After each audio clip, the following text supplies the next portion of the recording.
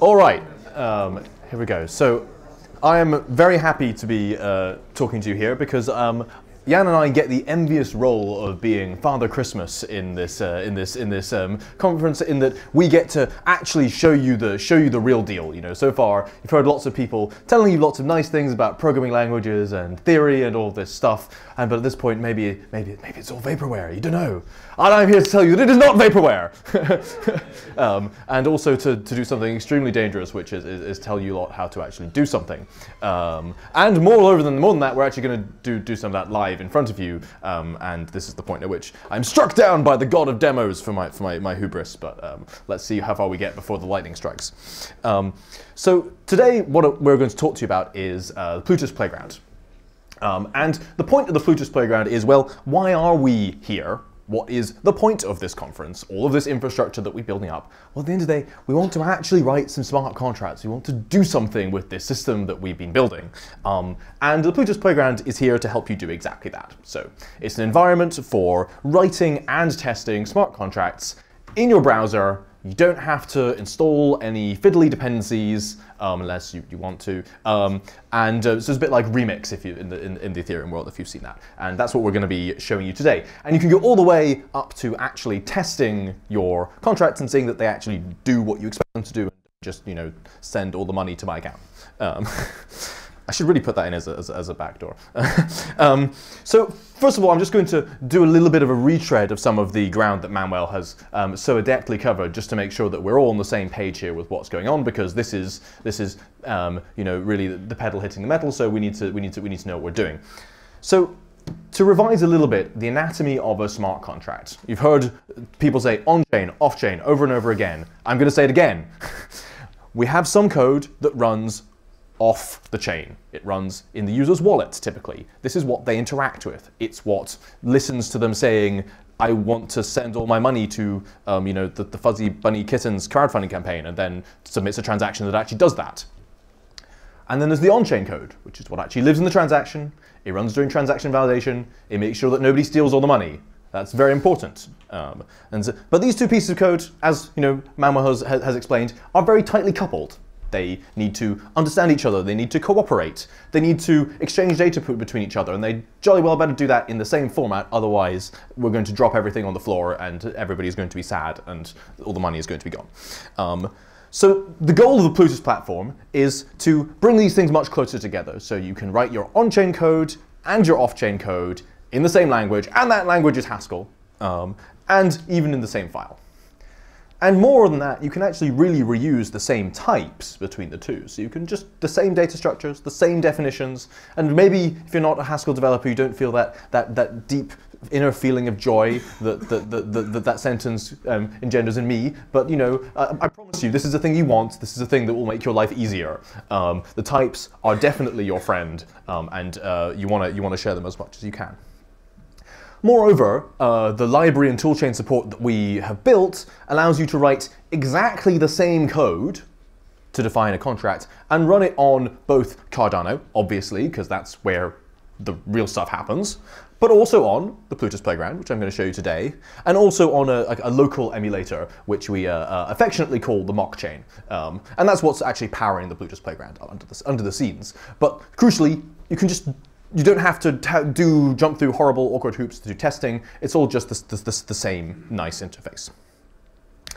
So let's drill a little bit further down into the, into the, anatomy of what's going on. Uh, so we have we have here we have, we have we're going to continue our continue our color coding adventure. Um, we have this blob of um, off-chain code written in Haskell that lives inside the user's wallet, um, and then as uh, Manuel has shown you, you have these these these fancy, well, the previously blue-colored, now purple-colored blocks that live in those um, in those uh, um, quotation quotation blocks that actually are going to turn into on-chain code, which are also written in Haskell, or as we like to call it, Plutus TX, because it's not quite Haskell but pretty much Haskell. Um, uh, and these are what actually define the logic of your transaction most of the time. Um, so that, that, that, that's, what, that's where, as you saw in the crowdfunding campaign, check that you got enough money, check that the deadline is passed, yes, okay, no, not okay. That's where that's happening. Um, and so that's that's the second stage. The first stage being the Haskell, the second stage being the um, Plutus TX. Um, but in addition to that, we, we want to make it easy for you to cross the to come across these boundaries. Um, we don't want the, the, the, these stages to be awkward, rigid things that you you, you, you, you keep butting up against as a programmer. Um, and in particular, you, you often want to parameterize your um, your contracts. You don't always want to pay Jim 10 ADA. Sometimes you want to pay Jane 10 ADA. You want to actually be able to parameterize them. And so we make it easy for you to lift chunks of data from the Haskell world at runtime in your on, on, off, off-chain code into the on-chain world um, seamlessly. And so that will all just work. And this is one of these things that hopefully when we actually get to look at it, you will might not even notice that it's, it's interesting. That's the goal, is that it should seem really easy, even though there's, there's actually some work going on behind the scenes. And then this all this then all then gets turned into uh, a transaction that um, actually goes on the chain. Um, and we're going to see all of these pieces shortly. I then also want to say a little bit more about um, what Manuel uh, described earlier, where he explained about the extended UTXO model and how validation works. So just as a reminder, how do we check whether um, we can spend a transaction output? Well, the spent transaction output has to accept the spending transaction by taking, and we do that by taking its validator and just feeding it a bunch of bits of information. And if it evaluate successfully, then it's fine. If it doesn't, then the transaction is rejected. Um, and this is done by the slot leader. Um, and in addition, if you don't know what that means, it's the person who actually runs all the code. It's part of the Ouroboros um, protocol. Um, and uh, the way that, that works is that, well, we're writing in a functional language. This validator script is just a function and it just takes these things as arguments. And that's exactly the pattern that we will see literally in the code in a moment. So remember that, that's going to happen. Um, in addition, uh, the Manuel denoted this with a little sigma. There's some additional information about the current transaction that goes in as well. Um, says things like what block height are we at, i.e. like what time is it, and some other pieces of information. And crucially, this is actually uses exactly the same mechanism for lifting data into um, on-chain code as you can do locally. Um, and you can also then use the same types. So not only can we share our types between our on-chain code and our off-chain code, we can share our types with what happens at validation time with the slot leaders, um, and we can be sure that everything is just going to work and we don't need to worry about um, accidentally screwing it all up when we do it ourselves. Um, and so, it, to summarize, there are kind of four interactions that we need to remember and bear in mind. And conveniently, these correspond exactly to the four Haskell modules that you would import uh, when you're doing this for real. And again, in a moment, you will see precisely these things in action. So the first thing that we need to remember is that the off-chain code talks to the wallet. This is to do things like ask for your public key, submit a transaction, register that you want a trigger to, to take an action on some later date. These are things that the wallet is going to do for you, and you need to say, please do this. Um, that lives in, unsurprisingly, the wallet module. The off-chain code also needs to actually make the transactions. That in order to do something, you have to make a transaction so you can submit it onto the blockchain and actually have something happen. Um, and all of this, this material is, is, is handled by the ledger module, which talks about things that go on the ledger.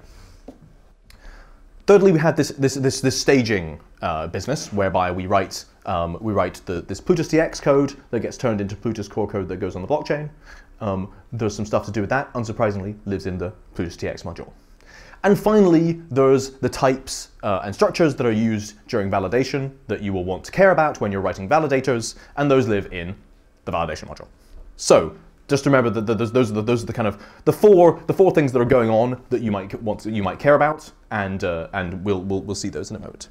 So I'm now going to actually show you some code um, in Emacs. Where else? Um, the font size on this is not ideal. Oh dear. Uh, is it possible to turn this off? If I just take it out of this socket. Nobody saw that. we'll put it back later, I'm sure it's fine. Um, so this is a Haskell file. Hooray, Haskell. If you haven't seen Haskell before, um, this is not going to be a Haskell tutorial, but hopefully it will not be too bewildering. Um, um, and so there's a little bit of stuff at the beginning, which we're not going to worry too much about now. Um, but uh, I suppose I can, can I move this a bit? There we go. Um, we, will, we do see that here I have written four imports corresponding to the four things I just told you about. As a reminder, Plutus TX is about stage code and writing things that run on the, run on the chain. Wallet is about talking to the wallet. Ledger is about making transactions. validation is about things that happen at validation time. So just, that's, that's, there, they are. That's exactly what you'd write yourself. So I'm now going to pop the hood a little bit and uh, show you what's really going on here. Um, and the reason I'm going to do this is because although it's unlikely that you're actually going to care about the Plutus core and what's going on, it is interesting to know what the sort of assembly language of what you're doing looks like. It's sort of going to, prove to you that there's really, there really is something there. Um, you might have no idea what it means, but it exists. I'm not, I'm not just making this up. It's not, these functions are not implemented. Uh, these functions are in fact implemented. They don't just like return the empty string all the time. um, so here's, here is um, a simple, very, the simplest example I could come up with of using Plutus TX. So we're going to write the plus one function as a function that would run on the chain, adding an one to an integer. And well, what is that going to look like? Well, it's going to be an, uh, it's going to be an opaque blob of code as far as the off-chain code is concerned. The off-chain code just it's, it's just it's just, just uh, once once you've made it, it's you can't really do much with it. It's going to get run later, um, but that, that that's what it looks like. And here we see the uh, the funny quotes, the funny dollars and, and, and brackets that Manuel was talking about before. So for the lispers around you, this is going to be old hat. But uh, for the rest of us, let's let's take a moment to think about what's happening. And what's happening is that between these uh, funny double bar brackets, we have a Haskell program. And what that program does I'm going to reformat it so that it fits on, fits on the screen, um, is um, it's a function that takes an integer and adds one to the integer. Very exciting. Um, and what these little quote brackets do is give you a representation of that Haskell program, which is what we're then going to compile. So that's all this is. This is just, you can just think of this as the program that's inside the brackets. And then we feed it to the plutustx.compile function, which uh, surprisingly compiles it. Um, and then finally, we feed it into these uh, these double dollars, which takes us back into back into the real world and out of the quotation world, and actually shoves the compiled program into your program to use it. Now, um, what that actually means is we end up with a Plutus core program. So let's look at it. Oh, there it is. It's it's it's. Oh, I know what I need to do. I know what I need to do. Ah, rotate it like that. Um, so here's, here's a, this is a genuine Plutus core program that you could put on the blockchain. Ooh. Um, and we can see a few interesting things about that. It has a version. That's that's interesting. So this is actually something that we do to make sure that when things change, we know exactly what version of uh, the language is being used, so we don't do the wrong thing. Uh, you can see a bunch of incomprehensible nonsense, uh, but what I'm going to tell you is that this bit here corresponds to the bit that we wrote and the rest of it is, is, is not so interesting at the moment. And if we squint, we can see that this is a lambda function, so like a, like a function, which is going to take some incomprehensibly named variable, which is, I promise you this is an integer, and is going to, I promise you this is uh, calling add integer, add, and this is 1, is going to add 1 to it. So at the end of the day, Plutus core is not that dissimilar from Haskell in many ways. And so actually, a lot of what's going on, going on under the hood here is not so clever. Um, there is some cleverness, more cleverness that we'll, we'll, we'll, we'll, talk a bit about later, but it's, it's comprehensible. We're, we're just, we're just uh, one of the virtues of the approach that we've taken is that um, we actually are quite close to uh, how Haskell represents things. Um, so now this would, this, would, this would not be terribly useful if uh, we weren't, were only able to use integers. I mean, you can do a lot with integers, but not everything. And um, in fact, we can just use pretty much all of the Haskell data types that we would want to. So here's a very simple example where we use the, uh, the type maybe, which is in the Haskell prelude and just is either a, a thing that's either there or not there. So it's like an integer or nothing. And this does a pattern match on it. And in the case that there's something there, it gives you the thing. In the case that there's nothing there, it gives you zero. So it's give me this thing or else zero. Uh, and this will just work. Um, Hooray! Um, you can reuse, you can reuse your data types. Uh, things will just work. You can use write your own data types, and things will just work. It's not special all special built in. It's just whatever you want to write. Um, and I won't show you that because that's a bit longer and even more incomprehensible. What I will show you is um, here is a ever so slightly more real program. So this is actually part of the example that Jann is going to show you in a second. This is uh, a, a, real validator script for a simple guessing game.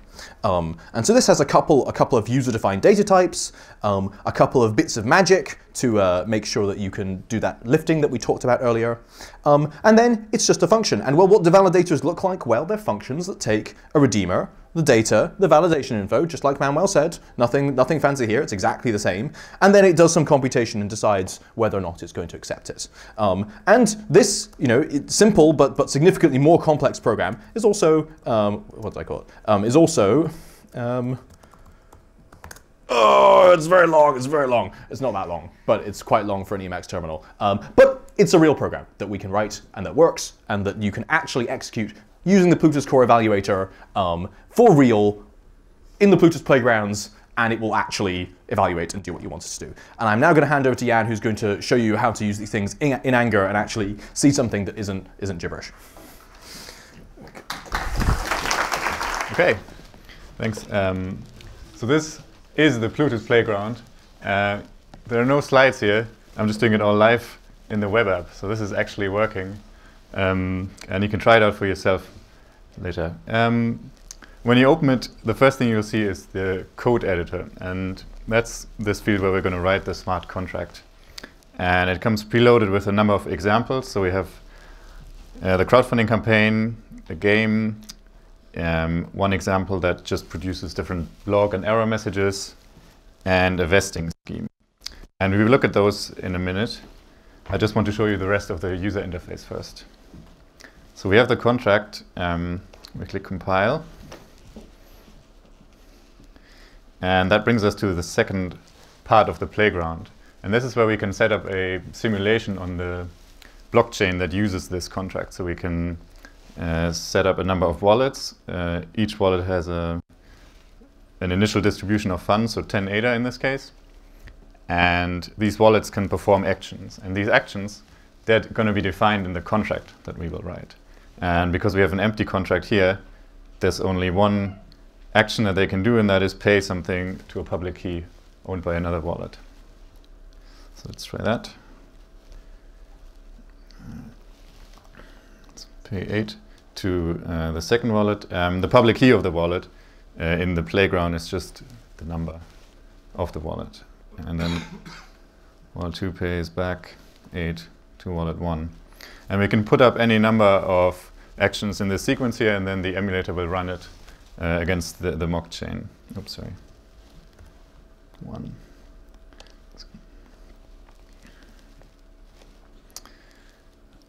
So now we get to the third part uh, of the playground, and that's where we see the, the results of the simulation. I'm zooming out a little just so that we can see this whole graph here.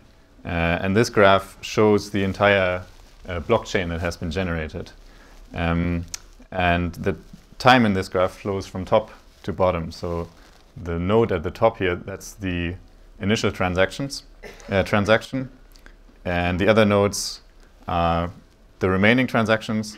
And the node at the bottom here, this UTXO node, that's uh, an unspent output. So the last ones at the end, they're always unspent outputs, and all the other nodes are transactions. And the edges in this graph, they're pairs of input output uh, connections. So one transaction consumes the uh, output of the previous transaction. And the size of this edge um, shows you how much ADA was transferred in that. So we can see here um, each wallet got 10 ADA initially, and um, wallet 2 received 8 ADA from wallet 1, and wallet 1 uh, received 8 ADA from wallet 2. The second part of the output is this log uh, that we'll see here. And that just lists all the events that happened on the in the simulation. So we see transactions that were valid, transactions that were uh, rejected, any script failures, log messages from the wallets. And we get quite a lot of information from this. And here we see uh, three transactions, the initial one and then the two that I just uh, created. And the final uh, output that we get is the, the balances of the wallets at the end. So each wallet is back to 10 ADA that it started with. So this is the general workflow of the, the playground. We write something, um, we set up the simulation, and then we look at the results to make sure that the contract behaved exactly like we, um, we wanted it to. Now this is uh, the full source code for this game um, that we already saw the validator of earlier in Michael's talk. I'm just going to make it a bit bigger. Okay. So um, we start out with the module name, uh, can be anything. Then we have the imports that we need as before. So we have Plutus TX, um, the prelude with, with some helpful functions, um, ledger, validation, and wallet imports. And when we're working in the playground, we also need to import the playground.contract module because that lets us uh, define the contract endpoints that the wallets are going to use to, uh, to create transactions with this tra uh, endpoint. And then uh, in this line, we also have another uh, Haskell library that we're importing from ByteString um, that we only need in this particular contract. So we can use any other, uh, a lot of other Haskell libraries in here as well. Now we need to define the data types that we want in this game. So the, the rules of the game are the first player makes up a secret word and puts the hash of that word uh, on the chain. So they're using a transaction um, output that's locked by the, the hash of the, the word, basically. And the second player has to guess the word, um, and if they guess it right, they get the funds in that. And to encode the hashed word, we just have this hashed string data type. And for any data type, that we want to convert to the on-chain representation, um, we need to call plutustx.makelift. Why we have that here. And then there's a helper function that lets us take a Haskell string and produce the data script for the transaction.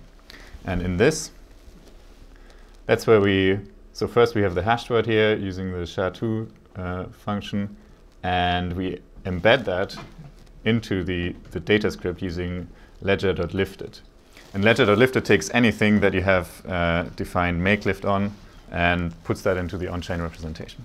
So we need that for the data script, and then a similar definition for what goes into the redeemer script, and that's the guess of the other player. And here uh, we have a clear string, which is also going to be uh, the byte string on the chain. And by using these uh, new these types that we've defined, um, we can make sure that in the validator script, we don't compare two wrong things. So we don't compare a clear string and a, uh, what was it called? A clear string and a hash string, but we always um, compare two hash strings, for example. So we have the clear string. Um, we can construct redeemer scripts containing the clear string with the make redeemer script function. And then finally, this is the validator. This encodes the, the game logic.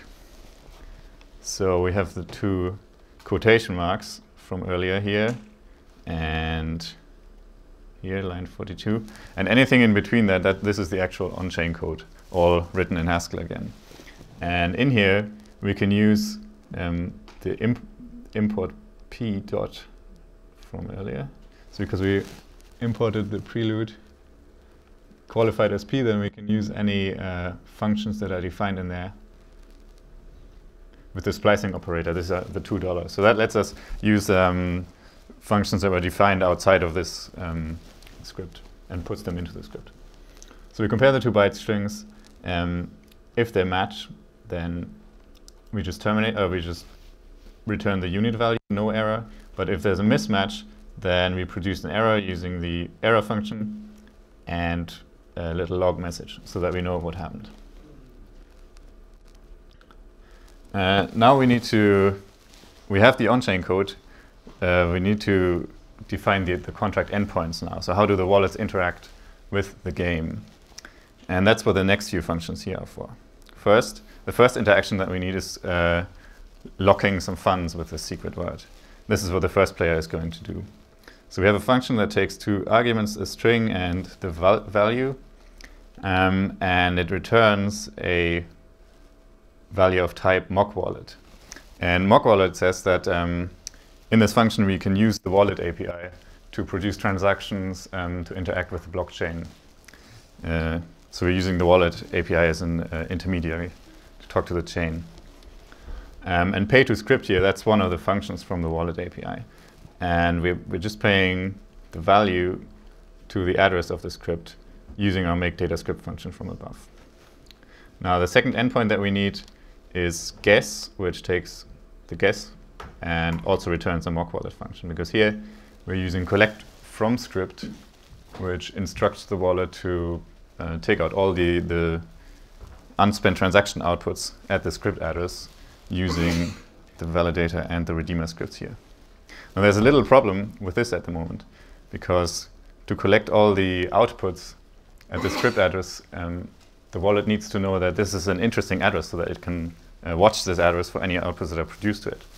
Otherwise, it doesn't, um, because it can't just watch all the addresses of the entire chain all the time. Um, and to make the wallet aware that this is an interesting address, we have a third uh, endpoint which is called start game, and it just tells the wallet to start watching the game address. At the end of the contract, we have three calls to make function, and that's what will generate the uh, contract endpoints that we're going to see. So make function lock, make function guess, and start game. And we can call make function on any function um, that has this structure that returns the mock wallet. So let's compile it.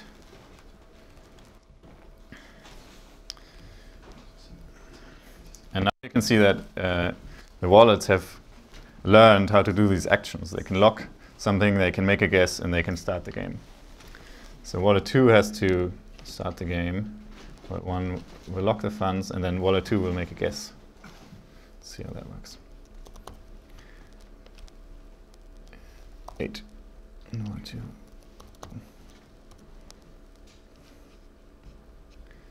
Let's click evaluate.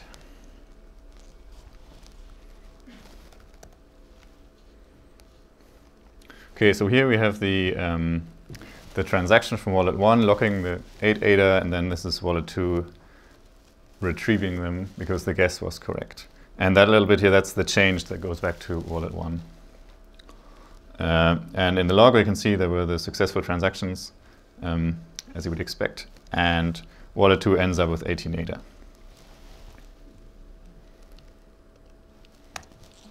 If you put in the wrong guess,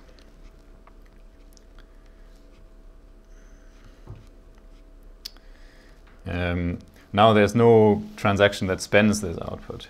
And we can see in the log that the validation failed for this transaction. So that's, that's something that you can only get in the playground and in the emulator. So you get these error messages and detailed reasons why validation failed. You won't get that on the real chain, but it's very useful for designing and debugging uh, contracts.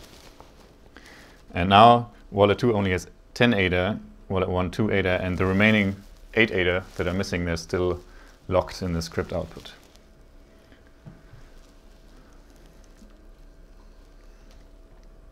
Let's look at the crowdfunding contract now.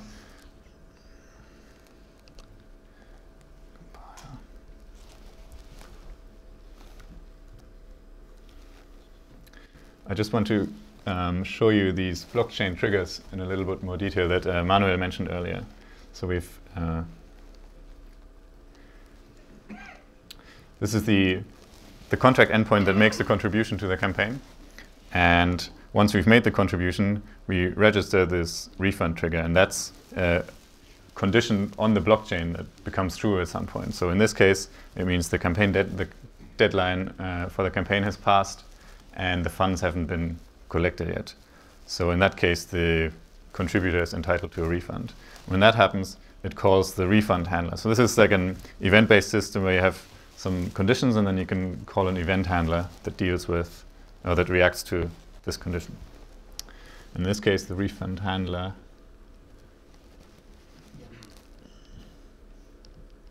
uh, is implemented here. And there's one uh, important difference between this refund handler and um, the guessing endpoint that we had in the game earlier. Because earlier we were using just collect from script from the wallet API. And here we're using collect from script transaction because we don't want to uh, try to reclaim all of the contributions to the address, but only the one that we made ourselves in the initial transaction. And that's why we're calling uh, collect from script TXN uh, to only claim back our own uh, contribution. If we try to collect all the other ones, then the transaction would be invalid and we, would, uh, we wouldn't get anything back. So we have to make sure to create a valid transaction. And this whole um, blockchain trigger system that all runs in the client code. So it doesn't go on the chain. This is done by the wallets themselves.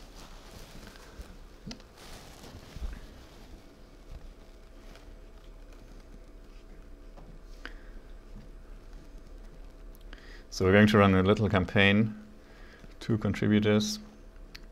And wallet one is the campaign owner, and they have to call schedule collection again so that they start watching the address. And zoom out.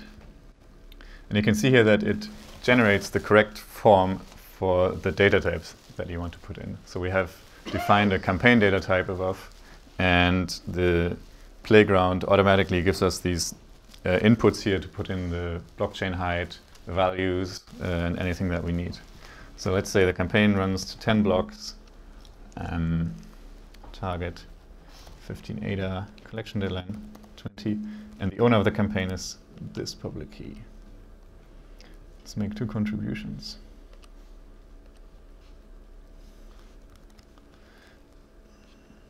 And we have to make sure to put in exactly the same details because the campaign, uh, this definition is part of the address of the script. And if we put in a different number here, for example, then the contribution will go to a different address and it won't be registered as part of the campaign. So uh, 15, 20, owner is 1, and then let's contribute 8.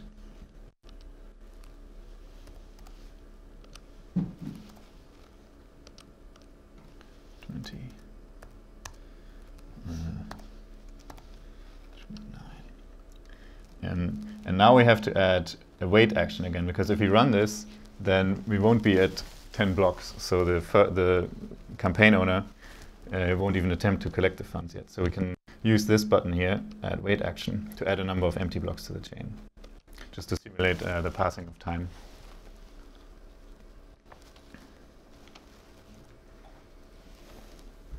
Now this is a bit more complex, um, but you can see these are the two contributions, 9 ADA and 8 ADA, and this is wallet 1 collecting the funds. Um, and now, we, if you look at the logs, we also see these uh, messages from the wallet. So in, uh, in the wallet API, we can also log some information here. And then at wallet, uh, at block height 10, this is when the collect funds trigger fired and collected the two contributions.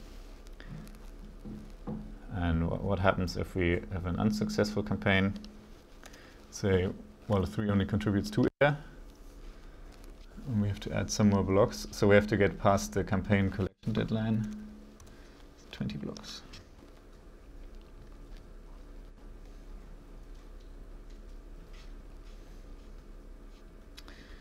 Uh, now, now you can see that the, the contributions here were claimed back by the original contributors. So uh, message from wallet 2 claiming refund, message from wallet 3 claiming refund, and everybody's back to the balance that they started with. So we can use the playground to, uh, to go through really complex interactions with our contracts, and it all evaluates quite fast considering what it's doing, because um, when you click uh, evaluate, it really spins all the wheels. It compiles the contract, um, emulates the transactions, it, uh, it runs the compiled code and puts, returns all the results to the web interface. That's all I wanted to show for the demo. Um, there's some links here to more documentation. Uh, the URL of the playground is here, so you can try out these examples yourself yourselves. And um, there's a Docker image as well if you want to download it and run it locally. And I encourage you to try it out, make some changes, see how the contracts behave. Thank you.